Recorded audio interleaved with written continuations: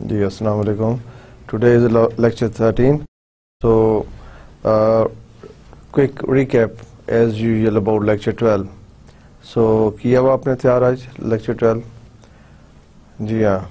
चलें बताएँ फिर मुझे फाइनेंशियल एसेट्स फाइनेंशियल स्टेटमेंट्स और क्या पढ़ा था हमने लास्ट टाइम फाइनेंशियल स्टेटमेंट्स क्या होती हैं? गिव मी वन और two reason of producing financial statement of a company company की जो फाइनेंशियल स्टेटमेंट्स बनाई जाती हैं, क्यों बनाई जाती हैं, आप बताएँ। फाइनेंशियल स्टेटमेंट्स होती क्या है? लास्ट बिल्कुल लास्ट शॉट हमने लिया था लास्ट स्क्रीन पे हमने देखा था कि फाइनेंशियल स्टेटमेंट क्या है। थ्री मेन थिंग्स थी, आप बताएँ। वो थ्री मेन थिंग क्या थी फाइनेंशियल स्टेटमेंट्स की? Good income statement for year ended, very good. Old name is trading and profit and loss account, very good. Second is second, balance sheet balance sheet. New name, statement of financial position. Good. Third is, statement of cash flow. Good. तो ये financial statement है। और financial statement let's see balance sheet से हम बात start करते हैं। Balance sheet क्या बताती है आपको? स्टेटमेंट फाइनेंशियल पोजीशन कंपनी की position at the moment in time उस वक्त की पोजीशन बताती है क्या है? गुड और income statement series of activities series of activities for example क्या एग्जांपल है? सीरीज़ ऑफ़ एक्टिविटीज़ की आप बताएँ। सीरीज़ ऑफ़ एक्टिविटीज़ की एग्ज़ाम्पल मैंने आपको लास्ट लेक्चर में दी थी। क्या series of activities okay different activities हैं? फॉर एग्ज़ाम्पल आप देखते हैं सेल्स हो रही हैं परचेजेस भी हो रही हैं स्टॉक इन आउट हो रहा है, ठीक है? एक्सपेंसेस हो रहे हैं डिफरेंट टाइप ऑफ़ एक्सपेंसेस हैं। सैलरीज पे हो रही हैं वेजेस पे हो रही हैं इंश्योरेंस पे हो रही है एडवर्टाइजमेंट पे एक्सपेंस हो रहा है डेप्रिसिएशन हो रही हैं प्रोविज़न फॉर डेप्रिसिएशन हो रही हैं बैड एड्स हो रहे हैं good so series of activities ये आई में आ रही हैं गुड इसका मतलब थोड़ा पढ़ा है आपने funds and working capital funds and working capital आप बताएँ कि फंड्स क्या होते हैं कंपनी के फंड्स किससे कहते हैं जी आप फंड्स क्या होते हैं गुड आपको मैंने बताया, जी, बिल्कुल वेरी गुड आपने सही बताया। फंड्स डिपेंड करता है कि मैनेजर्स फंड्स को किस तरह रहते हैं। कुछ मैनेजर कहते हैं all financial sources of a company all financial sources of company को फंड्स कहते हैं। और उसमें fix assets plus current assets good कुछ कंपनीज़ के मैनेजर्स या डायरेक्टर्स उसको क्या कहते हैं? फंड्स को ओनली करंट एसेट्स जो कन्वर्ट करते हैं इनटू कैश में। एंड कुछ current assets minus current liabilities जिसको हम working capital net working capital भी कहते हैं। सो वर्किंग कैपिटल क्या होता है? Current assets minus current liabilities so some managers use a term funds to refer to all financial sources help by form in this usages all the form assets both fix and current asset would be the forms of funds so आपको clear होना चाहिए। Good आपने इसका homework किया हुआ है कि funds और वर्किंग कैपिटल क्या चीज़ होती है? ये बार नॉर्मल नॉर्मल सी क्यूरी है। बार नॉर्मल क्वेश्चन पूछा जाता है कि कंपनी के फंड्स क्या है? या कंपनी का वर्किंग कैपिटल क्या है? बीइंग एन एमबीए स्टूडेंट आप कल इंशाल्लाह जॉब्स मार्केट में जाएँगे इंटरव्यू देंगे। जनरली आपसे पूछा जाता है कि वर्किंग कैपिटल क्या है? So what you will answer then current asset minus current liabilities what are companies funds company के फंड्स क्या है? आप कहेंगे depends some managers take fix asset plus current assets some only current assets and some current assets minus current liabilities excellent good impressed cash के बारे में आपको बताया कैश क्या चीज़ है? मनी जो रेडी है for use deposits in in the bank account और highly liquid money market market investment ये सब कैश में आती हैं। Two terms will use synonymously to refer a capital ये आपको मैंने अभी सब एक्सप्लेन कर दिया है। Three major financial statements income statement statement of financial position old name is balance sheet statement of cash flow ये थ्री मेन फाइनेंशियल स्टेटमेंट है। So today we are going to discuss statement of financial statement of financial position sorry this is statement financial statement लिखा हुआ है statement of financial position S F P या SFP क्या होता है? आपके जहन के अंदर फॉर्मेट होना चाहिए। जब हम बात करें स्टेटमेंट ऑफ़ फाइनेंशियल पोजीशन की, उसका फॉर्मेट हो। जब हम फाइनेंशियल स्टेटमेंट्स के तो आपके जहन में एकदम थ्री फॉर्मेट्स खुल जाएँ। I S S F P statement of cash flows right now we are discussing statement of financial position balance sheet S F P shows the assets liabilities, and equity of the firm. As of the last day of the accounting period accounting period accounting period क्या होता है? Last day of the accounting period last day of the accounting period accounting जो periods में I think आपने financial accounting में definitely पढ़ा होगा accounting periods कितने पीरियड्स होते हैं वन ईयर में? 12 पीरियड्स अकाउंटिंग ईयर कितने मंथ्स पे होता है? ट्वेल्व मंथ्स पे good. Accounting year twelve months पे। लेट्स सी मेरी कंपनी है। आ, हम उस पर अपना हमारा अकाउंटिंग ईयर है January to December January to December twelve months. Companies का डिफरेंट अकाउंटिंग ईयर भी हो सकता है। कुछ कंपनीज़ फ़र्स्ट अप्रैल से थर्टी फ़र्स्ट मार्च कुछ कंपनीज़ फ़र्स्ट ऑफ़ अगस्त से thirty first of June July so लेकिन अकाउंटिंग पीरियड होता कितना है? ट्वेल्व मंथ्स का पीरियड ट्वेल्व मंथ्स का पीरियड ठीक? लेकिन आपके नॉलेज के लिए बता दूँ कि अकाउंटिंग पीरियड जो है आ, उसमें जो फॉर एग्जांपल हमारा जो tax highest tax authority Pakistan कौन सी है? CBR central board of revenue या फेडरल बोर्ड ऑफ़ रेवेन्यू या वो गाइडलाइंस देते हैं कि आप अकाउंटिंग ईयर इस, इस इस तरह रखें। क्यों? उसमें कंपनी का भी कंपनी को भी फ़ायदा हो जाता है और टैक्स अथॉरिटीज को भी फ़ायदा होता है। फॉर एग्जांपल वो गाइडलाइंस एफ़ बी आर दे रहा है कि आप आ, जितने भी बैंक्स हैं फॉर एग्जांपल जितने भी बैंक्स हैं वो अपना accounting year January to December रखें। एंड जितने भी सीमेंट इंडस्ट्रीज़ हैं वो इस टाइम पर रखें। जितनी भी शुगर इंडस्ट्रीज़ हैं वो डिफरेंट रखें। मंथ्स बता देते हैं कि उसमें उनको भी आसानी है। टैक्स कलेक्ट करने में इंफॉर्मेशन लेने में और फर्म्स को भी आसानी है उस टाइम पे करने में। So generally accounting year twelve months का होता है। और पीरियड कहते हैं one period period one period two period three period four या अगर मेरी कंपनी है, उसका अकाउंटिंग ईयर है January to December twelve months हो गए। और फॉर एग्जांपल आज फ़र्स्ट जून है। क्या है? फ़र्स्ट जून तो हम कौन से पीरियड में जनवरी, फरवरी, मार्च, अप्रैल, मई, जून, हम पीरियड सिक्स में तो लास्ट पीरियड जो होगा, उसको पीरियड ट्वेल्व कहेंगे। सो ये बता रहे हैं कि S F P shows the assets liabilities and equity for the firm as of the last day of the counting period last day of the counting period यानी पीरियड ट्वेल्व का आखिरी दिन, उस पर एस एफ़ पी की situation क्या है? वो आपकी एस एफ़ पी वो बनती है। In effect it matches resources, assets with resources, liabilities, and equity.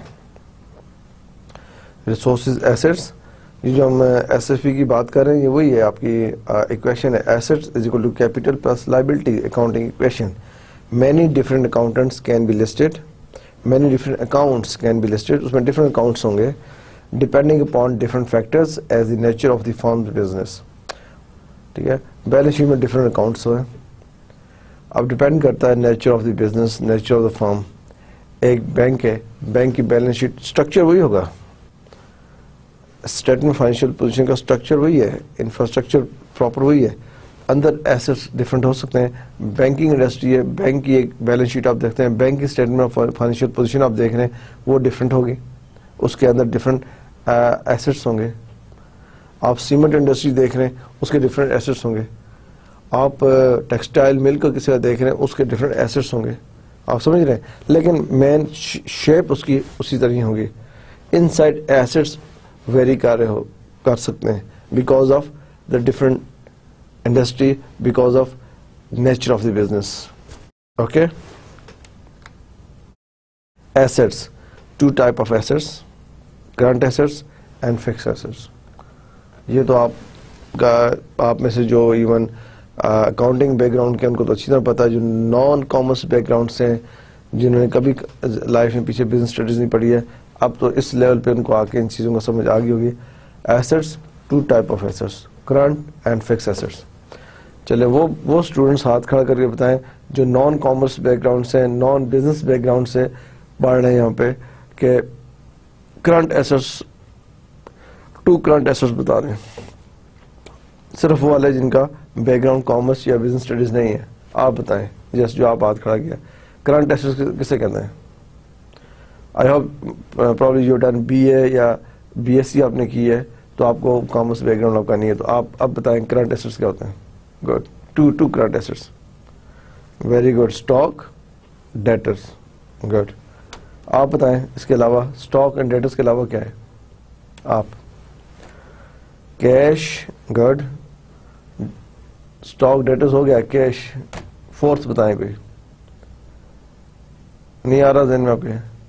हम जब एडवांस रेंट देते हैं एडवांस इंश्योरेंस देते हैं, वो हमारा एसेट है ना current asset prepaid rent prepaid insurance is our assets good so current asset stock debtors cash and prepaid rents और prepaid insurance good fix fixed assets कौन बताएगा? आप जी नहीं नहीं, जो कॉमर्स बैकग्राउंड से नहीं हुआ आपके लिए तो आसान है। उनसे जिन्होंने पहले अकाउंटिंग नहीं पढ़ी फिक्स एसेट्स फिक्स एसेट्स में टू टाइप्स अंदर आती हैं टेंजिबल एंड टेंजिबल टेंजिबल जिसको आप टच कर सकते हैं। Building is tangible furniture is tangible they all fix assets land is tangible fix assets motor vehicles is tangible ये आपके मशीनरी टेंजिबल इनटेंजिबल क्या होते हैं, जिनको आप टच नहीं कर सकते, जिनको आप टच नहीं कर सकते।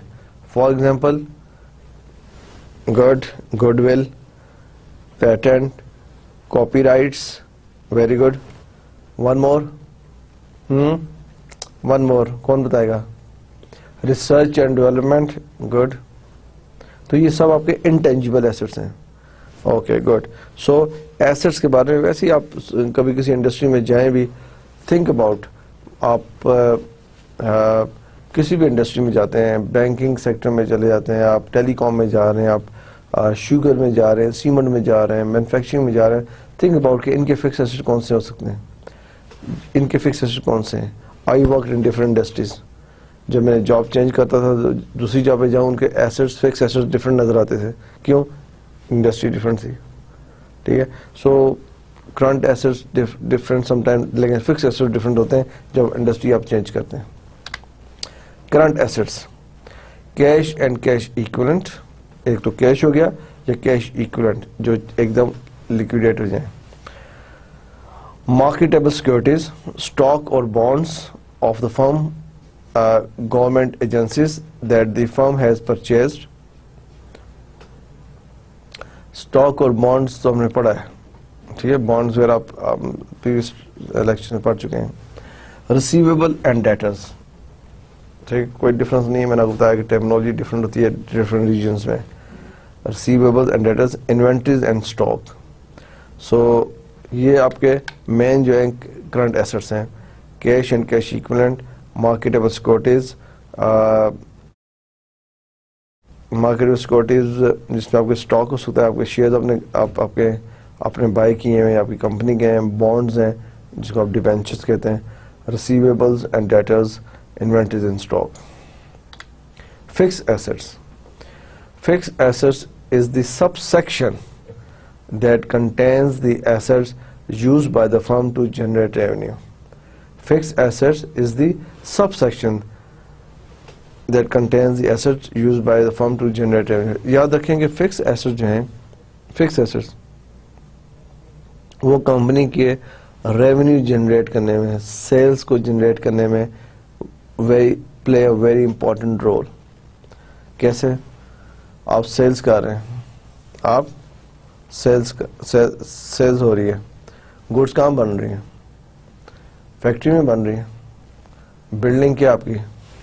बिल्डिंग फिक्स एसेट्स तो फिक्स एसेट्स जो है वो जनरेट रेवेन्यू जनरेट करने में बहुत वाइटल रोल प्ले कर रहे होते हैं। बिल्डिंग बिल्डिंग के अंदर आपकी मशीनरी लगी हुई है, वो आपका क्या है?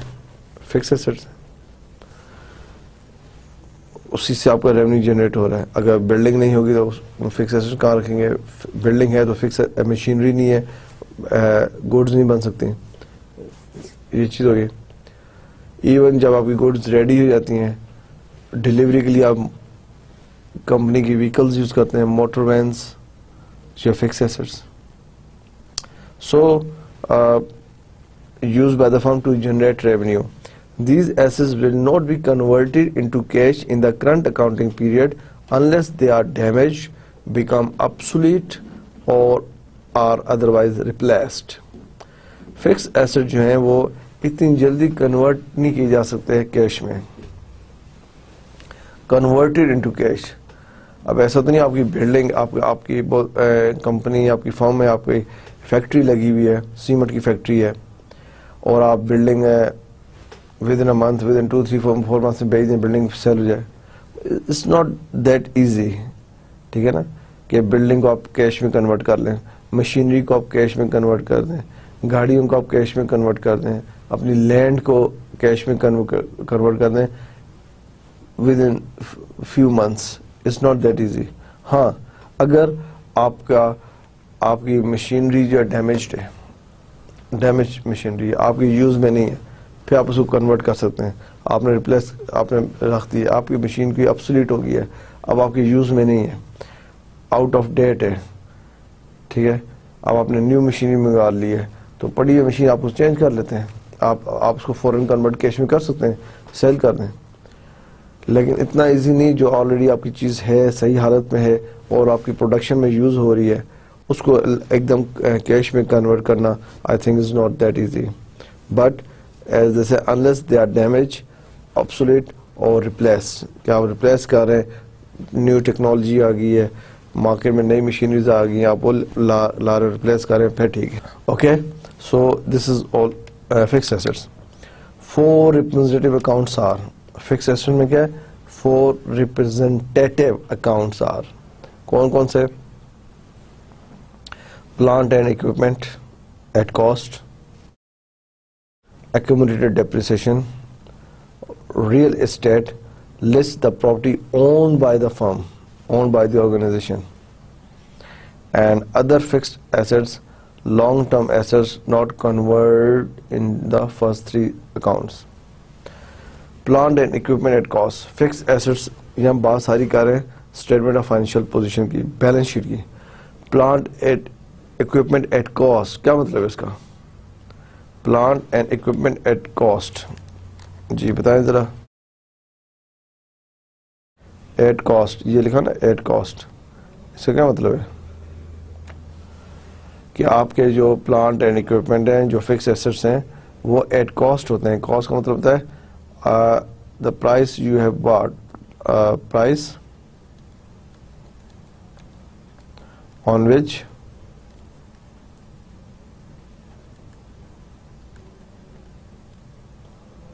we bought asset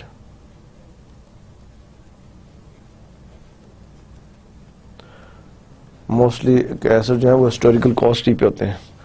तो plant and equipment at cost क्या आपने जिस कॉस्ट पे एसेट बाय किया है, उस पे।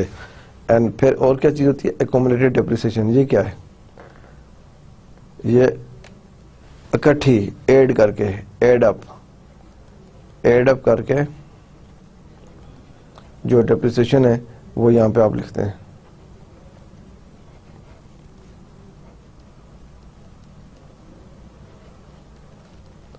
एकोमोलेटेड मीन इकट्ठी करके डेप्रिसिएशन बैलेंस शीट में की होती है। हर साल की एवरी ईयर डेप्रिसिएशन चार्ज होती है आईएस में। लेकिन बैलेंस शीट में स्टेटमेंट ऑफ़ फाइनेंशियल पोजीशन पे इकट्ठी डेप्रिसिएशन होती है। For example machinery at cost लिखा हुआ है। एकोमोलेटेड डेप्रिसिएशन साथ लिखा उसका मतलब प्रीवियस सब ईयर्स की अकोमोडेटेड करके यहाँ पे आई हुई है। Real estate list the property own by the firm ठीक है? बिल्डिंग्स वगैरह या कुछ की है जो कम बिज़नेस की अपनी प्रॉपर्टी है, उसकी सारी detail other fix assets long term assets not covered in the first three जो फ़र्स्ट थ्री में ना आए हों तो और कोई एसेट्स हों, वो भी इसमें आते हैं। तो फिक्स एसेट्स के बारे में थोड़ा आपको आइडिया हो कि फोर फोर रिप्रेजेंटेटिव हैं प्लांट इक्विपमेंट होता है एकोमोडेट डिप्रिसिएशन होती हैं, और real estate and other fix assets okay liabilities balance sheet में। स्टेटमेंट ऑफ़ फाइनेंशियल पोजीशन पे लाइबिलिटीज भी होती हैं। क्या होता है? लाइबिलिटीज लाइबिलिटीज क्या है? Liabilities are debts of the firm कि फर्म के ऊपर जो डेट है, जो कर्ज है, हर बिज़नेस में लाइबिलिटीज होती हैं। Very you will not find I don't think any business without having any liability कोई बिज़नेस भी इक्विटी हंड्रेड परसेंट इक्विटी पे नहीं चल रहा था। कोई वो छोटा बिज़नेस हो सोल प्रोपाइटर हो, वो चल रहे हैं। वरना लाइबिलिटीज होती हैं। डेफिनेटली होती हैं। ठीक? आप ज़रूर कभी किसी अपने दोस्तों से, अपने फ्रेंड्स से, या जनरल लोगों से मिलते हैं, किसी कंपनी कोई फर्म चला रहा है काम कर रहे हैं तो पूछा करें कि आपकी लाइबिलिटीज कंपनी की क्या है? आ, क्या स्ट्रक्चर है आपका? इक्विटी और डेट कितना है? तो liabilities are debt of the firm different type of liabilities in short term long term देखते हैं। They represent source of assets since the firm either borrows the money either borrow the money or make use of certain assets that have not yet been paid for. They represent source of assets since the firm either या तो आपने money borrow की है या आप certain asset use कर रहे हैं जो अभी तक आपने पे नहीं किया तो आपकी लाइबिलिटी है ना? लेट सी कंपनी ने कोई मशीनरी ली है कोई फिक्स एसेट लिया हुआ है और यूज़ कर रहे हैं और अभी तक पे नहीं किया so that is firm's liability और second thing is firm borrow money from banks और other financial institutions and used in, in their business वो उसका डेट है। Debt liabilities are debt of the firm. Liabilities are divided into current and long term as I said before current liabilities जिसको आप short term liabilities भी कह सकते हैं और long term liability है तो liabilities are divided into current and long term liabilities current liabilities क्या होती हैं ये सब चीज़ें इसलिए हम देख रहे हैं कि आपको फाइनेंशियल स्टेटमेंट जिसमें एस भी हम देख रहे हैं आपको रीड करना अच्छा है आप उसको उसको जब एनालिसिस आप सही कर सकेंगे तो आपके फाइनेंशियल डिसीज़न मेकिंग में अच्छी डिसीज़न मेकिंग कर सकेंगे। ठीक है? Current liabilities are the debt of the firm that must be paid current liabilities और the debt of the firm that must be paid during the current accounting period normally one year current liabilities हम उसको कहते हैं, जो एक साल के अंदर, एक साल के अंदर with in one year pay हो जाए पे पे करनी होती हैं, उसको हम, उस डेट को हम करंट लाइबिलिटीज कहते हैं। उस कर्ज को हम डेट करंट लाइबिलिटीज कहते हैं। फॉर एग्ज़ाम्पल करंट लाइबिलिटीज क्या है? Accounts payable purchases on credit normally companies purchases कर रही होती हैं क्रेडिट पे। उसमें उन्हें क्रेडिट टर्म्स होती हैं डिस्काउंट्स होता है। Two months discount three months discount whatever जो भी कंपनी की पॉलिसी है नाइन्टी डेज़ डिस्काउंट तो वो पे करना होता है। थ्री मंथ्स में टू मंथ्स में फोर मंथ्स में। तो with in one accounting period तो ये हमारी करंट लाइबिलिटीज में आता है accounts payable short term notes payable money against promissory notes short term notes payable ये क्या चीज़ है? हमने आई थिंक प्रीवियस पढ़ा है इसमें। कंपनी लोन नोट इशू करती है।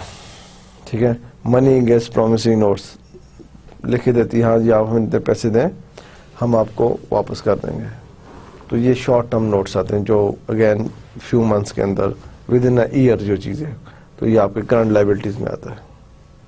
Right other payable other payables like wages आपकी अभी फैक्ट्री में वेजेस चल रही थी, कभी आउटस्टैंडिंग हो जाती है टैक्स ठीक है? टैक्स नॉर्मली किस होता है? जब पूरा साल गुजर जाता है कंपनी प्रॉफिट डिक्लेयर करती हैं उस पर टैक्स लगता है। ठीक है ना? अब पूरा साल जब गुजर जाएगा लेट्स सी आपका पूरा अकाउंटिंग या जनवरी से दिसंबर तक है तो दिसंबर या नवंबर में तो आप टैक्स नहीं दे सकते। ये दे सकते नहीं दे सकते। जब पूरा साल गुजरेगा, आपकी फाइनेंशियल स्टेटमेंट बनेगी, आपका प्रॉफिट कैलकुलेट होगा, उस प्रॉफिट के ऊपर टैक्स होगा। तो उस वक्त तक नए अकाउंटिंग ईयर का वन मंथ या टू मंथ गुजर गए होते हैं? लेकिन आपकी लाइबिलिटी होती है कि आपने लास्ट ईयर इतनी सेल्स की, इतनी अर्निंग्स की, इतना प्रॉफिट आपको हुआ, उस पर आपने टैक्स देना है। तो वो आपकी करंट लाइबिलिटी होती है। फेडरल टैक्स भी होता है स्टेट टैक्स भी होता है, कोई लोकल अथॉरिटीज का टैक्स हो, वो भी हो। तो ये all come under current liabilities जो with in one year pay हो जाती हैं। ठीक? Accounts payable short term notes payable other payables wages tax federal and state local long term liabilities ठीक है शॉर्ट टर्म लाइबिलिटीज हमने देखी लॉन्ग टर्म लाइबिलिटी जब आप ज़रूर किसी कंपनी की स्टेटमेंट ऑफ़ फाइनेंशियल पोजीशन देखें तो ये short term liabilities long term liabilities proper mention होती हैं। प्रॉपर मेंशन होती हैं। तो आप ज़रूर, जब कभी भी आपको मौका मिले, आप नेट पे जाके देख सकते हैं, या किसी कंपनी की फाइनेंशियल स्टेटमेंट्स आई होती हैं, वो देखें। तो under statement financial position balance sheet के अंदर short term liabilities long term liabilities mention होती हैं।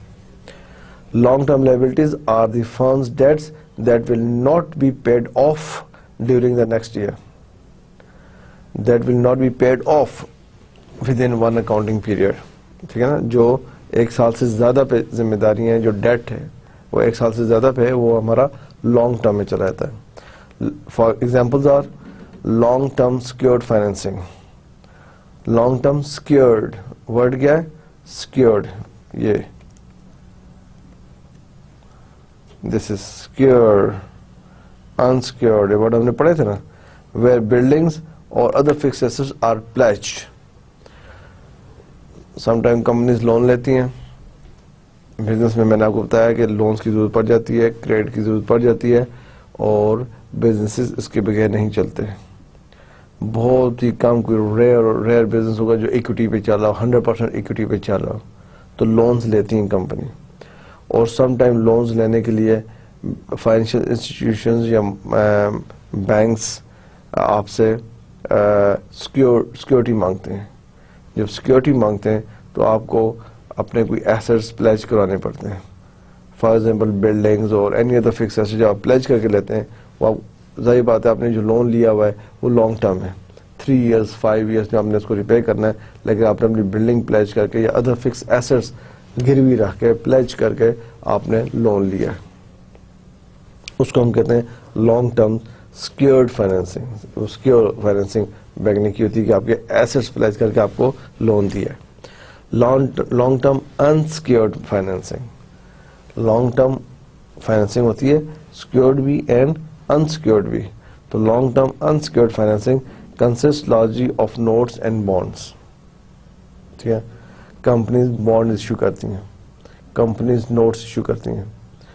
और उसमें कोई अपने अपने प्रॉपर्टी प्लेज नहीं कराई होती है। और वो अनसिक्योर्ड होते हैं। ठीक है ना? और आई थिंक उस पर आपका रिटर्न भी ज़्यादा होता है because more risk more risk more return less risk return so long term unsecured financing consist largely of notes and bonds okay so ये टर्म लाइबिलिटीज हैं. Long term liabilities, bonds are a major source of long term financing. Bonds for many firms ठीक है, हमने bonds के बारे में pre studies में पढ़ा है ना आपको? आपको हमने बड़े डिटेल से बताया हुआ है। तो बॉन्ड्स क्या होते हैं? बॉन्ड्स जो है major source of long term financing है। मैनी कंपनीज़ के लिए ठीक bonds are usually sold to the general public in the form of debentures yes bonds are usually sold to the general public in the form of debentures A debenture is a general obligation of the firm and is not secured by specific physical assets. Important, not secured, debentures secured. जो debenture secure होता है उसको हम mortgage कहते हैं। A debenture is a general obligation of the firm and is not secured by specific physical assets frequently statement of financial position list all major bonds offering currently outstanding and the interest old on the bonds on annual basis statement of financial position में generally frequently जो भी bonds company ने offer किए होते हैं, उनकी उनकी सारी डिटेल होती है, कितना इंटरेस्ट देना होता है और एनुअल बेसिस पे कितना इंटरेस्ट जार होता है, सबकी डिटेल होती है। ठीक? तो बॉन्ड जब आपसे पूछा जाए कंपनी बॉन्ड इश्यू करती है लॉन्ग टर्म है शॉर्ट टर्म है? This is long term liability ठीक है? और अनसिक्योर्ड होते हैं तो डिवेंचर होते हैं। कंपनीज़ इस पे समटाइम ज़्यादा रिटर्न ज़्यादा इंटरेस्ट देना पड़ता है। इसलिए मोस्टली कंपनीज़ कोशिश करती हैं अगर उस पर ज़्यादा डिपेंड्स मार्केट में क्या जा रहा है। अगर आपको कंपनी को लॉन्ग टर्म लोन की ज़रूरत पड़ गई है, वो देखेंगे बैंक क्या इंटरेस्ट ऑफ़र कर रहे हैं और यहाँ पे क्या है, ठीक? तो समटाइम अगर इंटरेस्ट रेट मार्केट बैंक की डाउन है तो बॉन्ड समटाइम अट्रैक्टिव हो जाते हैं, लोग बॉन्ड्स की तरफ़ आ जाते हैं। ज़ाहिर बात है, अगर आपने इन्वेस्ट करना है और आप देख रहे हैं कि बैंक ज़्यादा रिटर्न दे रहा है तो आप बैंक की तरफ़ चले जाएँगे। अगर कंपनी ज़्यादा रिटर्न देगी, आप कंपनी की तरफ़ आ जाएँगे। लेकिन बॉन्ड्स एक स्ट्रॉन्ग फाइनेंशियल इंस्ट्रूमेंट है, जो एक्टिव रोल प्ले करता है कंपनी के फंड जनरेट करने में। ठीक? बैलेंस शीट पे स्टेटमेंट ऑफ़ फाइनेंशियल पोजीशन में एक वर्ड आप इक्विटी का भी देखेंगे। फाइनेंस्ड बाय इक्विटी इक्विटी का क्या मतलब पता है? जो पैसा आपने खुद इन्वेस्ट किया है equity equity represents the ownership rights in a company and arise from several sources equity represents the ownership rights in a company and arise from several sources owners purchase the preferred or common stock either through an initial offering or through later sales by the firm or the firm return a portion of its profit and reinvest them in a firm. Very interesting. First thing हो गया कि equity represent क्या करती है ownership rights in a company and rises from several sources जो owner का अपना पैसा लगा बिज़नेस में, उसको आप इक्विटी कहते हैं कैपिटल कहते हैं, जो डिफरेंट सोर्सेज से आया है उसके पास right right? Owner purchase the preferred or common stock preferred and common stock हमने पढ़े ना बड़े डिटेल से। Prefer stock or common stock either through an initial public initial offering इसका क्या मतलब है? दिस लाइन इनिशियल ऑफरिंग कौन बताएगा? आप बताएँ इनिशियल ऑफरिंग किसे कहते हैं? Either through an initial, owners purchase the preferred or common stock, either through initial offering, good good initial offering हमने previous पढ़ा हुआ है। I initial public offering IPOs IPOs जो कंपनीज़ फ़र्स्ट टाइम स्टॉक से में जाती हैं, उनको क्या कहते हैं? वो आईपीओस करती हैं। और उसमें जो शेयर्स बाय करते हैं प्रेफर कॉमन स्टॉक्स होते हैं। उस, ये इनिशियल ऑफरिंग उसको कहते हैं। और through later sales by the firm or या फिर, यानी आईपीएस हो गया उसके बाद कंपनी शेयर सेल कर रही हैं। Stage or the firm retain a portion of its profits and reinvest in the firm ऐसा भी होता है कंपनी अपनी कोई पोर्शन ऑफ़ प्रॉफिट्स रिटेन किया हुआ है और उससे फर्म में इन्वेस्ट कर लेते हैं शेयर्स बाय कर लेते हैं। तो दिस इज़ ऑल इक्विटी ठीक है ना? प्रेफर्ड स्टॉक और कॉमन स्टॉक क्या है?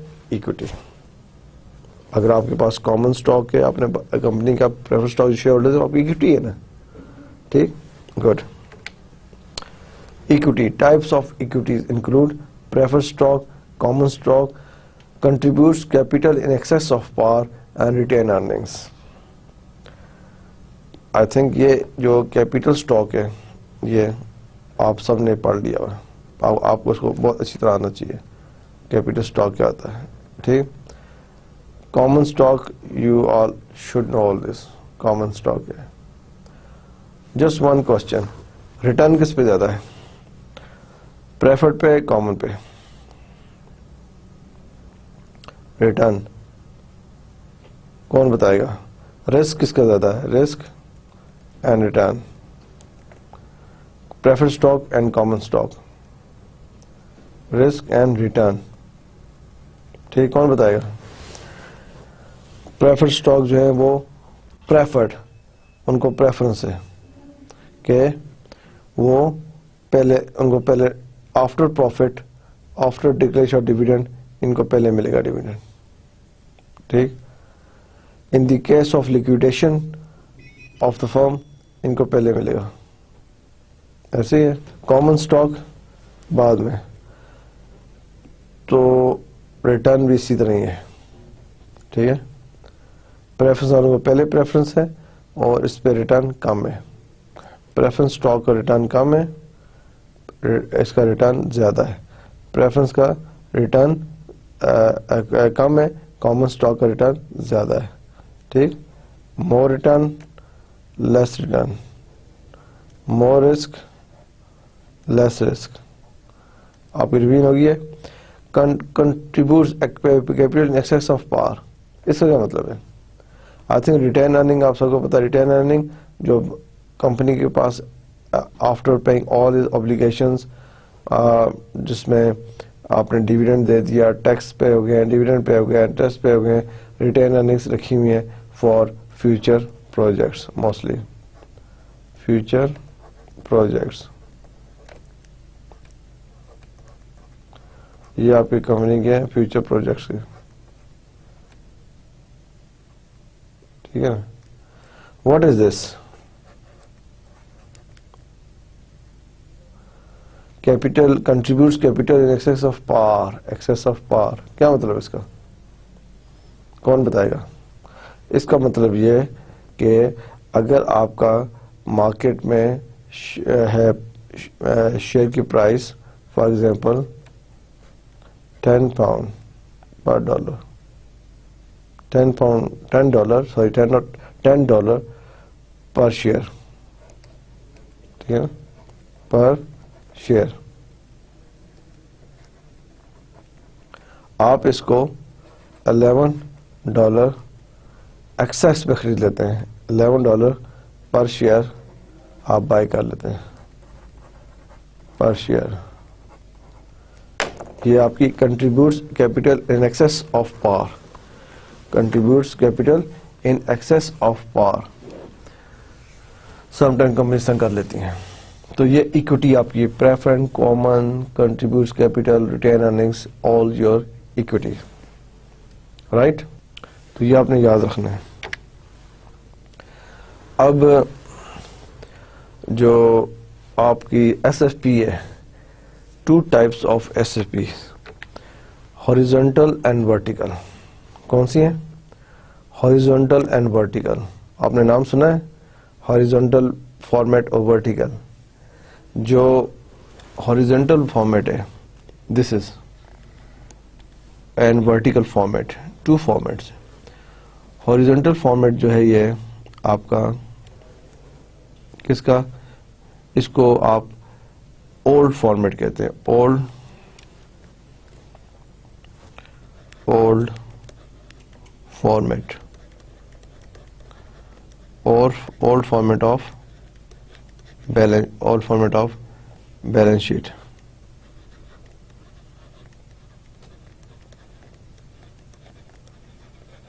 You all format.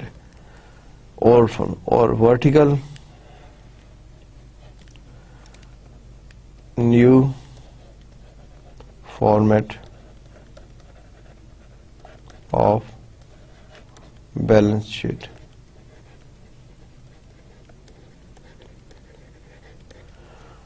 This is SFP new name of new na na name of balance sheet new name of balance sheet so मैं आपको ड्रॉ करता हूँ ओल्ड फॉर्मेट ठीक है ना मैं आप क्या ड्रॉ करता हूँ? हॉरिजेंटल ड्रॉ करता हूँ आपके लिए। ड्रॉ हॉरिजेंटल ठीक है? यहीं से हम आ, देख लेते हैं। ये एक लाइन ड्रॉ हो गई है।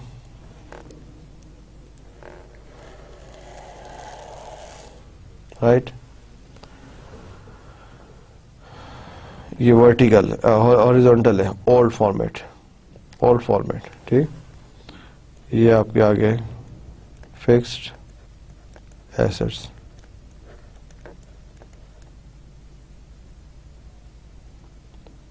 फिक्स एसेट्स मैं कोशिश करता हूँ कि यहाँ पे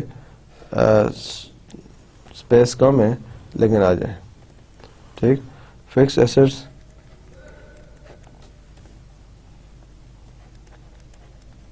यहाँ पे आपके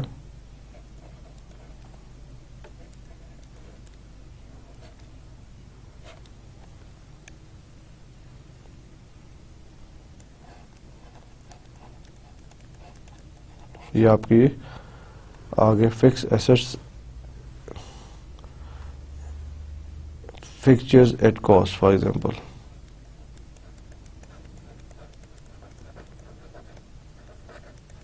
at cost ठीक ये two hundred two six zero zero ये आगे फिक्चर लेस डेप्रिसिएशन डेप्रिसिएशन कितनी है जी? टू हंड्रेड जाएगा ट्वेंटी फोर हंड्रेड ऐसे ही है? ओके फिर आ गए करंट एसेट्स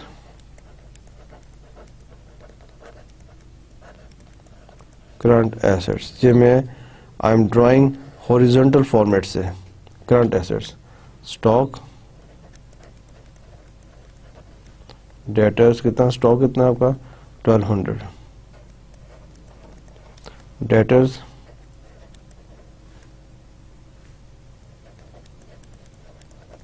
डेटर्स कितने आपके? Two nine zero zero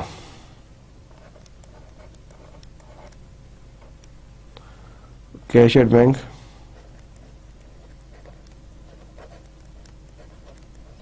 cash at bank कितना आपका? सेवन हंड्रेड आपका टोटल कितना आ गया? फोर एट ज़ीरो ज़ीरो ये, यहाँ पे आपका कैपिटल है।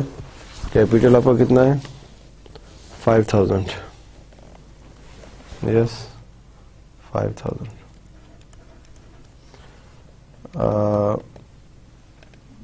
net profit भी है कुछ? जी हाँ नेट प्रॉफिट भी है। This is your net profit net profit कितना आपका?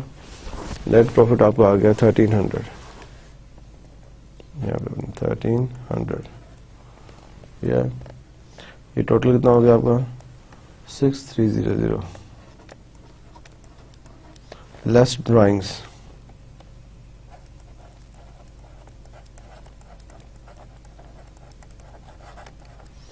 drawing कितनी आपकी? One one zero zero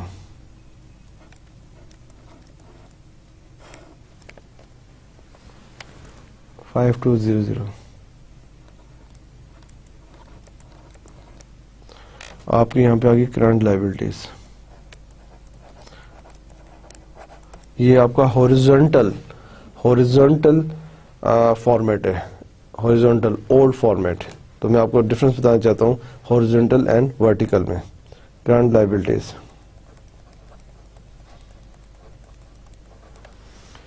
current liabilities ये कैपिटल भी आपकी हेडिंग होगी, ठीक है ना? ये फाइव थाउज़ेंड जो है ना, ये बैलेंस है कैपिटल का। बैलेंस ये फाइव करंट लाइबिलिटीज में क्या आ गया? क्रेडिटर्स आ गए जी। क्रेडिटर्स कितने eighteen fifty eighteen fifty accrued expenses accrued is your liability accrued expenses. कितना है accrued expenses? 150 so 1850 plus 2000 right अब आप इनको ऐड करें. Zero zero two five two seven ठीक? टोटल क्या आ गया आपका? सेवन टू ज़ीरो ज़ीरो आप इनको ऐड कर लें। टोटल क्या आ गया आपका? Zero zero eight four twelve two seven two zero zero right so this is your horizontal way horizontal way आपको बताने का मकसद ये था, ये जो हमने अभी बैलेंस शीट ड्रॉ की है, आप इसमें देखें, इसमें लाइन है टी अकाउंट की तरह। ये लाइन है राइट और यहाँ पे फिक्स एसेट्स हैं करंट एसेट्स हैं कैपिटल यहाँ पर है करंट लाइबिलिटीज यहाँ पर है। ठीक? ये हॉरिजॉन्टल है हॉरिजॉन्टल इसको कहते हैं वर्टिकल इसको कहते हैं। तो अब ये ये ये फॉर्मेट अब नहीं है वर्ल्ड में। अब कंपनीज़ हॉरिजॉन्टल यूज़ नहीं करती अब क्या यूज़ करती हैं? वर्टिकल फॉर्मेट कौन सा फॉर्मेट वर्टिकल फॉर्मेट तो आपने किससे पढ़ा है? आ, हाथ खड़ा करें जिसने हॉरिजॉन्टल से पढ़ा। हॉरिजॉन्टल से किसने पढ़ा है? हॉरिजॉन्टल अब ऑब्सलीट हो गया है। अब जो लेटेस्ट अपडेट मार्केट में जो अकाउंटिंग बॉडीज जो फॉलो कर रही है, जो कंपनी कर रही है, वो है आपका vertical this format vertical vertical जो है वो अपडेट है। तो आपको मैंने सिर्फ़ शेप बताने के लिए बताया कि ये है और वर्टिकल बनाते हैं कि वर्टिकल फॉर्मेट क्या है। ये इंपॉर्टेंट होता है। समटाइम आप जाएँगे जॉब्स के लिए इंटरव्यूज़ के लिए हॉरिजॉन्टल फॉर्मेट ये है वर्टिकल दूसरा है। तो वर्टिकल फॉर्मेट जरा ड्रॉ करते हैं। वर्टिकल फॉर्मेट क्या है? जी किसको आता है वर्टिकल फॉर्मेट ठीक? ओके मैं इसको आ, थोड़ा सा हम इसको बंद कर देते हैं इसे। ये कुछ भी नहीं है। और स्टार्ट यहाँ से करते हैं, ठीक है? ये कौन सा हम बना रहे हैं? ये हम बना रहे हैं वर्टिकल फॉर्मेट कौन सा? वर्टिकल फॉर्मेट किसका ये? Vertical format of good S F P statement of financial position ये न्यू नेम भी है, ठीक है? न्यू नेम भी है ऑफ़ बैलेंस शीट तो वर्टिकल फॉर्मेट किस होता है हॉरिजॉन्टल ऐसा था वर्टिकल में सबसे पहले ऊपर आते हैं fixed assets good fix assets आ गए राइट ये आ गए. और लेट्स सी ये रुपीज़ रुपीज़ थ्री कॉलम आप कर लें. फिक्स एसेट्स अगेन जैसा लास्ट एग्जांपल में था फिक्चर्स एट कॉस्ट ठीक है? Two six zero zero two six zero zero less depreciation depreciation क्या अमाउंट थी? टू हंड्रेड उसी एग्जांपल को हम यहाँ कर रहे हैं। ठीक है? टू फोर ज़ीरो ज़ीरो आपने लेस किया अमाउंट आ गई two four zero zero fix asset के बाद हम हेडिंग दे रहे हैं करंट एसेट्स किसके? करंट एसेट्स हेडिंग ये हेडिंग है। जिसको डबल लाइन है, ये हमारी हेडिंग है। ये हमारी डबल लाइन हेडिंग है। पहले fix asset current asset current asset में क्या है? फ़र्स्ट स्टॉक स्टॉक स्टॉक की कितनी फिगर है हमारी? 1200 स्टॉक के बाद हमारी डेटर्स डेटर्स डेटर्स कितने हमारे टू नाइन ज़ीरो ज़ीरो ठीक है? एग्जैक्ट वही क्वेश्चन जो अभी आपने किया हॉरिजॉन्टल से अब हम वर्टिकल फॉर्मेट से कर रहे हैं। Cash at bank cash at bank कितना है? Seven hundred seven hundred total कितना हो गया? Four eight zero zero less current liabilities current liabilities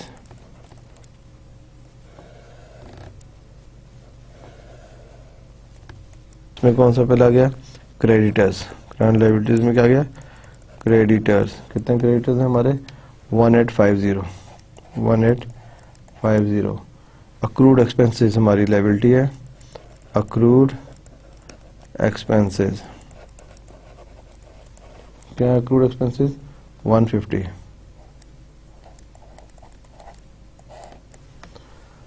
total हो गया 2000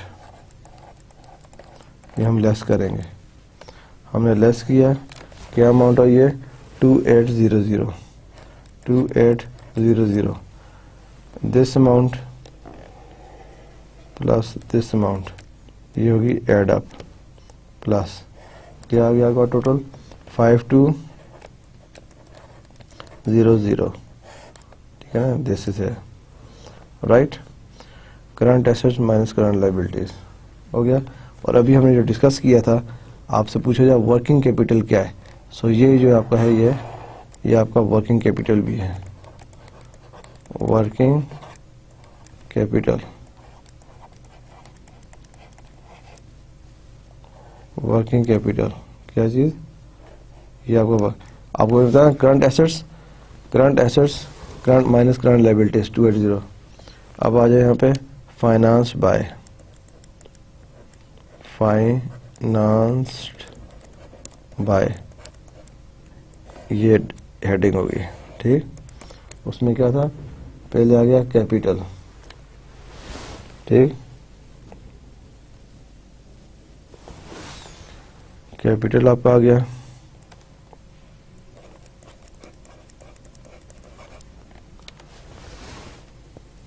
एड नेट प्रॉफिट कैपिटल कितना आया? Five thousand five thousand good उसमें अगर प्लस नेट प्रॉफिट है कोई आपका? जी हाँ कंपनी का नेट प्रॉफिट भी है। नेट प्रॉफिट कितना है net profit thirteen hundred good thirteen hundred कितना हो गया आपका ये? Six three zero zero six three zero zero कोई लेस ड्राइंग्स हैं? बिल्कुल हैं लेस लेस ड्राइंग्स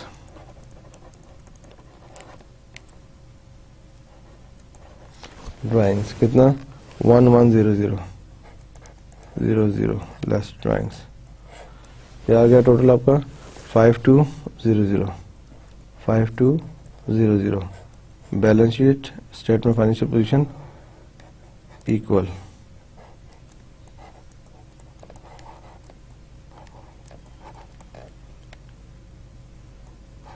equal ठीक?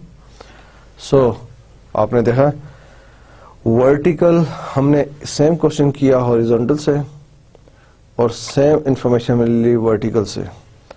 ठीक है? अब वर्टिकल जो फॉर्मेट है, ये अप टू डेट है। इसको हर जगह देखा जाता है। वर्टिकल क्या है? ये आपको मैंने दिखाया। नंबर वन हेडिंग इसकी है fix assets one heading number two heading क्या थी?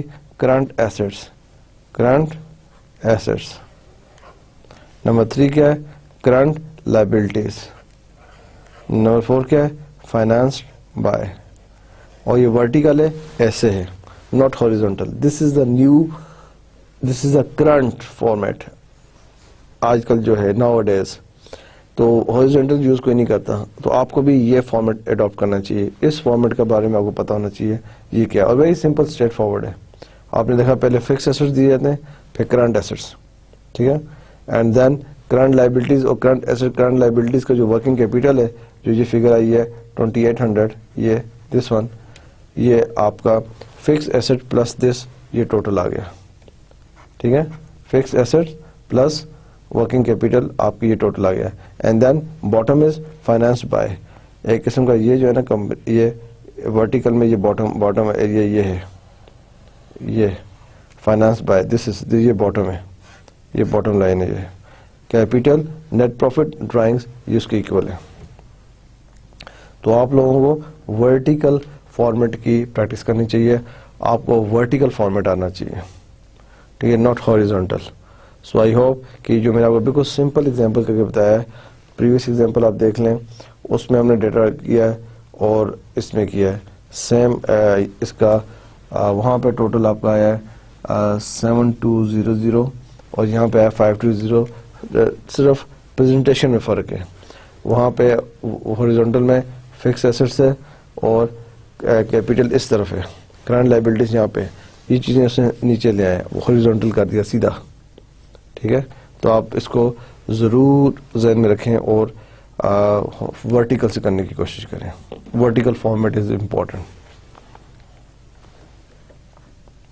so I hope next class में आपसे पूछूँगा हॉरिजॉन्टल और वर्टिकल फॉर्मेट्स में क्या डिफरेंस है? और वर्टिकल फॉर्मेट के मेन हेड्स कौन से हैं? फोर हेड्स हैं। Fix assets current assets current liabilities financed by ये वर्टिकल फॉर्मेट है। Okay not difficult at all. और very important you should know vertical format not horizontal limitation of the statement of financial position balance sheet balance sheet की limitation क्या है? मैं उसमें क्या ऐसी uh, uh, चीज़ें हैं जो आप उसके ड्रॉबैक्स में कह सकते हैं या लिमिटेशन है उसकी? Although it provide useful information the S F P has its limitation although it provide useful information the SFP has its limitations. क्या limitations हैं? It does not show the events or activities that resulted in the SFP in each of the accounts or the accounting techniques used to prepare them. It does not show the events or activities. उसमें events activities तो नहीं है and resulted in SFP in each of the accounts or accounting techniques क्या accounting techniques use हुई हैं ठीक है ये उसमें हमें हमें फिगर्स पता है अकाउंटिंग टेक्निक्स क्या यूज़ हुई हैं उन फिगर्स को प्रिपेयर करने में ये हमें एसएफपी नहीं बताता। ये इसकी एक लिमिटेशन है। ठीक many accounting methods are standard but some variance is permitted ठीक है? Which could greatly change the amounts reported in certain accounts. Accounting uh, normally standard है लेकिन कहीं में वेरियंस भी आता है। इजाज़त है आपको वेरियंस यूज़ करने की थोड़ा ऊपर नीचे हो जाता है। जिससे पूरी फिगर्स चेंज हो जाती हैं। Which could greatly change amount reported in certain account और यह एस एफ़ पी में एस एफ़ एसएफपी में इसका पता नहीं चलता। Another weakness is that the analyst preparing P may make इम इम्प्रॉपर आई दर मिस्टेकली और to distort the picture shown on S P अब एस, आप एस एफ़ पी बना रहे हैं आ, जो एनालिस्ट जो एस एफ़ पी प्रिपेयर कर रहे हैं कोई इम्प्रॉपर एजम्पन्स ले लेते हैं आइधर गलती से या जानबूझ के स्टेटमेंट ऑफ़ फाइनेंस पोजिशन की मेकअप करने के लिए उसको अच्छा शो करने के लिए। तो बैलेंस शीट के अंदर ये ये वीकनेस है हमें पता नहीं चल सकता। ठीक? Limitations of the example क्या assumption as to when obligations have been incurred or when revenues have occurred uh, can have marked effects on the final figure on the statement of financial position assumption as to when obligations have been incurred अब इसमें कि किस वक्त आप आपके ऊपर obligation आप company की बनती है या कंपनी की कोई ज़िम्मेदारी बनती है या कंपनी को कोई लाइबिलिटी बनती है या कंपनी किया रेवेन्यू एग्जैक्टली कब रेवेन्यू बनता है रेवेन्यू रिकग्नाइज कब होता है ठीक है? अब ये चीज़ आ, आ, इसकी एग्जांपल है limitation of of the SFP अब कंपनी सम टाइम कॉन्ट्रैक्ट करती हैं कि हमने ये सर्विसेज़ प्रोवाइड करनी है और हमें इतना रिटर्न मिलेगा। अभी सर्विसेज़ प्रोवाइड नहीं हुई भी तो रेवेन्यू रिकग्नाइज नहीं कर सकते आप। आप वो रेवेन्यूज नहीं लिख सकते। आई थिंक मैंने आपको एग्जांपल्स दी थी। किसमें? प्रूडेंस में। प्रूडेंस में। डोंट ओवरस्टेट योर प्रॉफिट्स ठीक है? अंडरस्टेट योर प्रॉफिट ठीक है? फॉर एग्जांपल वेडिंग हॉल की एग्जांपल गुड और वेडिंग हॉल की बुकिंग्स हुई हुई हैं। शादी हॉल आपने बुक किया हुआ है। लेकिन अभी वो डेट्स आई नहीं है। आपने कुछ ten percent five percent fifteen percent deposits लिए हुए लेकिन अभी आपने सर्विसेज़ प्रोवाइड नहीं किए हैं। हॉल यूज़ नहीं हुआ। सर्विसेज़ यूज़ नहीं हुई तो रेवेन्यू रिकोगनाइज नहीं हुआ। वो नहीं लिख सकते। This assumption are when obligation है और when revenues have occurred can have marked effect on the final figure on the statement of financial position अगर आप रेवेन्यू रिकोगनाइज हुआ ही नहीं, आपने कर लिया है तो वो आपकी बैलेंस शीट पे बड़ा अफेक्ट करता है। आपकी बैलेंस शीट बहुत अच्छी शो हो रही है। तो ये चीज़ें लिमिटेशन में आती हैं कि कोई ऑब्लीगेशंस कंपनी के ऊपर हैं, या कंपनी की वो लाइबिलिटी बन रही है और शो नहीं हो रही। कंपनी का रेवेन्यू रिकग्नाइज नहीं हुआ और लेकिन रेवेन्यू रिकग्नाइज किया गया है। तो ये चीज़ें इसकी लिमिटेशन ऑफ़ एसएफपी में आती हैं। यूजेस ऑफ़ एसएफपी को कहाँ कैसे इस्तेमाल होती है uses of SFP users financial statements के बहुत ज़्यादा हैं। कौन से यूज़र्स हैं, आपको पता है? Give me the name of users of financial statements वो users of obviously statement of financial positions भी होंगे। यूज़र्स कौन से हैं? नंबर वन आप कह सकते हैं मैनेजमेंट जो कंपनी रन कर रही है। बोर्ड ऑफ़ डायरेक्टर्स मैनेजमेंट्स ठीक है? उन, वो यूज़ करते हैं एसएफपी को। Second employees okay employees use करते हैं डिफरेंट पर्पजेस के लिए। Third shareholders all shareholders management में नहीं है शेयर होल्डर्स जिनके पास, जिनको, जो कंपनी के शेयर ओन रखते हैं। देन बैंक्स बैंक यूज़ करते हैं एस को use of S F P banks आपके साथ interaction financial institution and banks good creditors creditors good creditors जो आपको लोन देते हैं, आपकी S F P balance sheet देखते हैं स्टेटमेंट ऑफ़ फाइनेंशियल पोजिशन देखते हैं कंपनी कितनी वर्थ है। And then government good then new potential shareholders जिन्होंने अभी शेयर बाय करने हैं, वो आपकी एस एफ़ पी देखते हैं। गुड या सो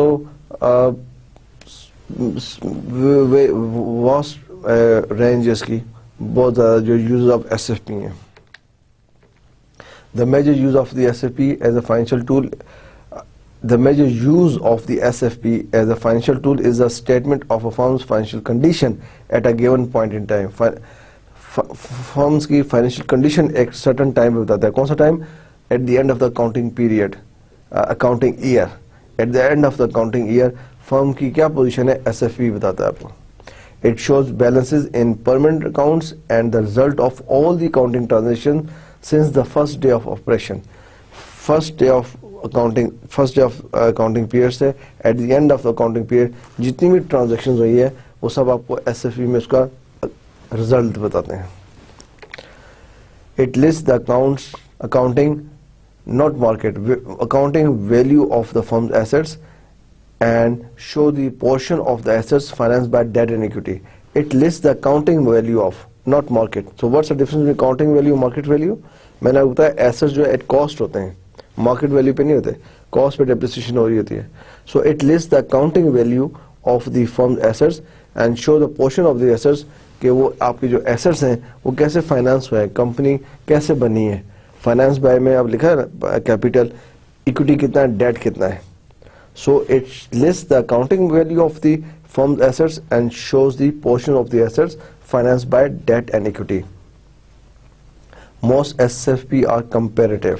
This is important compare कब जाओ कंपेरिजन करना चाह रहे हो? A comparative S F P displays the current balance and the prior year's balance for each account in two columns. This allow analysts to compare the beginning and end of year positions and to measure the changes in each account during the course of the year. Right? ये important है क्या जब भी आप balance sheet देखेंगे mostly उसके two columns होंगे for example this is 2013 आपने बैलेंस शीट बनाई 2013 की बना रहे हैं लेकिन साथ एक कॉलम में 2012 की फिगर्स भी दी होती हैं 2012 की फिगर्स भी दी होती हैं। आप कंपैरिजन कर रहे होते हैं। आप देख रहे होते हैं कि कंपनी ने 2012 में कैसा प्रीवियस ईयर क्या परफॉर्म किया, इस ईयर क्या परफॉर्म करे। Most S F Ps are comparative कि आप उसको कंपेरिजन करके देख सकते हैं? A comparative S F P displays the current balances जो इस साल के बैलेंसेस हैं and the prior year's balance, पिछले साल के balances and prior balance for each account in two columns ठीक है? This allows analysts to compare the beginning and end of year positions and to measure the changes in each account during the course of year तो ये balance sheet का statement of financial position का एक अच्छा use है कि users को comparison करने में हेल्पफुल साबित होती है right so use limitation of अपनी जगह इसकी एस एफ़ पी की क्या लिमिटेशन हमने डिस्कस किया? Uses of S F P बहुत ज़्यादा हैं ठीक? और format of S F P बहुत इंपॉर्टेंट है। जो फॉर्मेट है new format is vertical format two format से आप बुक्स में देखते होंगे आपको बैलेंस शीट या एस नज़र आता है। एक horizontal format which is old method old format method uh, uh, has been placed. अब मार्केट में नया इंडस्ट्री न्यू मेथड पे जा रही है वो वर्टिकल फॉर्मेट है। सो so, मैंने आपके सामने एक एग्ज़ाम्पल रखी उसको मैंने हॉरिजेंटल से किया और फिर उसको वर्टिकल फॉर्मेट से किया। So I urge you I advise you to to use vertical format to adopt vertical format because this is the format which is being use in the market everywhere everywhere in the world ठीक है? ठीक है आपने previous studies में शायद horizontal से पढ़ा होगा, देखा होगा, समझा होगा, लेकिन वर्टिकल फॉर्मेट भी बहुत इजी है, बहुत स्ट्रेट फॉरवर्ड सा है। बिल्कुल सिंपल उसकी फोर चीज़ें मैंने आपको बताई थी। Fix assets current assets current liabilities and finance by ये फोर उसके हैं और आप उसके हेड देखें, उसका फॉर्मेट देखें। आपको आगे प्रैक्टिकल लाइफ में when you go for jobs when you go for interview when you will work somewhere आपको वर्टिकल फॉर्मेट सामने नज़र आएगा। वर्टिकल फॉर्मेट आपके सामने रख के डिस्कशन होंगी। उस टाइम पे अगर आपने वर्टिकल फॉर्मेट पे प्रैक्टिस नहीं की है तो यू माइट से मुझे तो आता ही नहीं वर्टिकल फॉर्मेट तो आपने वर्टिकल फॉर्मेट से करना है। Okay so I am going to close the lecture this is almost end of our lecture today lecture 13 so lecture 14 में आने के लिए लेक्चर 13 को अच्छी तरह प्रिपेयर करें लेक्चर 12 को भी करें। ये मोस्टली हमने फाइनेंशियल स्टेटमेंट्स के बारे में पढ़ लिया फाइनेंशियल अकाउंटिंग को रिव्यू कर लिया हुआ है मोस्टली तो फाइनेंशियल डिसीज़न मेकिंग में फाइनेंशियल अकाउंटिंग का बहुत बड़ा रोल है। Without having a proper financial accounting knowledge particularly the terms used in IS, SFP and cash flow statements इनकी टर्म्स से आप अवेयर नहीं है इनको आप एक्सप्लेन नहीं कर सकते, इन पे आप कमेंट्स नहीं कर सकते, इनकी आप इंटरप्रिटेशन अच्छी नहीं कर सकते तो आप decision making financial decision making अच्छी नहीं कर सकते। तो इसलिए फाइनेंशियल अकाउंटिंग एंड रिव्यू का टॉपिक बहुत इंपॉर्टेंट है। I try to convey you basic knowledge and the advance knowledge आपको मैंने टी काउंट से स्टार्ट किया, आपको डबल एंट्री से स्टार्ट किया, आपको लेजेस बना के दिखाए, आपको अकाउंटिंग क्वेश्चन बताई, आपसे एस एफ़ पी डिस्कस किया है मोस्ट प्रॉब्ली नेक्स्ट में आई एस डिस्कस होगा थोड़ा सा कैश फ्लो हो जाएगा, लेकिन आपको फाइनेंशियल अकाउंटिंग का knowledge very very play a very vital role in the financial decision making process okay so again as usual my advice आप उस पर अमल भी कर रहे हैं आई एम ग्रेट इस इस बार आपने आंसर्स अच्छे दिए हैं। तो आप प्लीज़ लेक्चर थर्टीन को बहुत अच्छा प्रिपेयर करें और सब कुछ रिवाइज करके again discussion is important discussion with colleagues is important private study is also important पहले प्राइवेट स्टडी करें, खुद चीज़ों को समझें, कोशिश करें, उसके बाद आपस में डिस्कस करें। डिस्कस करने के बाद दोबारा जवाब करेंगे you will be all right thank you very much and in will meet in next class अल्लाह हाफिज़